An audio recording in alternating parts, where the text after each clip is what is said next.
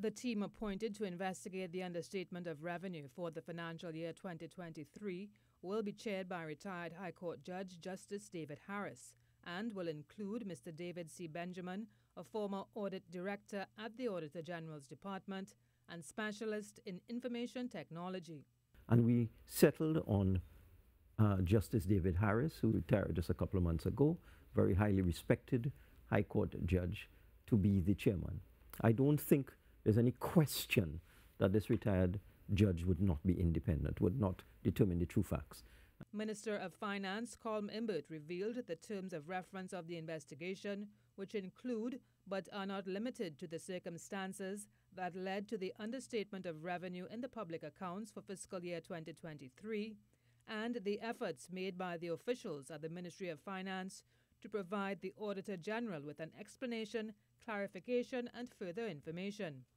What are the facts in relation to the various allegations and statements made by the Auditor General in her report on the public accounts of Trinidad and Tobago for the financial year 2023, including the addendum and appendices with specific reference to the understatement of revenue in the public accounts for the financial year 2023. The finance minister chastised the opposition for what he described as scandalous allegations, in addition to publishing extracts of the Auditor General's report, which is yet to be laid in Parliament.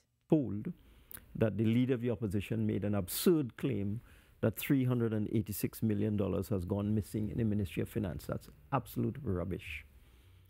What I am seeing in terms of what was posted on the screen at that Monday night forum is that it is being alleged that documents were not provided to support payments totaling 386 million in 2023 such as expenses in connection with international financial institutions fiscal incentive program for farmers and so on the Auditor General had declined to put into her 2023 report on T&T's accounts figures for $2.6 billion.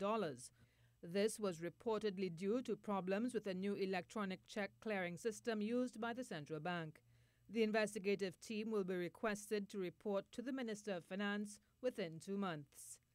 Karen Kozia Philip, TTT News.